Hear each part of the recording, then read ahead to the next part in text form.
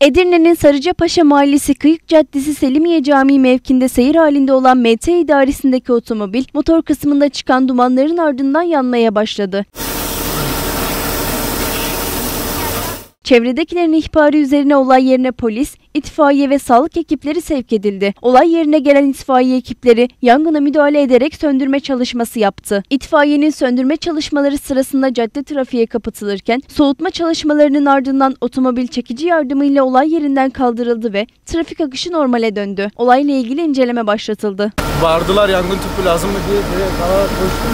Verdim ben de. Yangın tüpüyle söndürdüm ondan sonra itfaiye geldi. İçinde bayağı bir bayla bir bayan vardı. Onlar vardı çıkmaya çalışıyorlardı. Çıktılar. Ondan sonra eşyalarını aldılar. Ben de söndürmeye çalışıyorum. Arabanın altından ateş vardı. Ben üst tarafa sıktım. Üst taraftan duman çıktığı için yangın tüpünün hortumunu direkt eee, arasına sıkıştırdım, verdim. Ondan sonra tüp bittikten sonra çıkardığımda baktım alttan yanıyordu.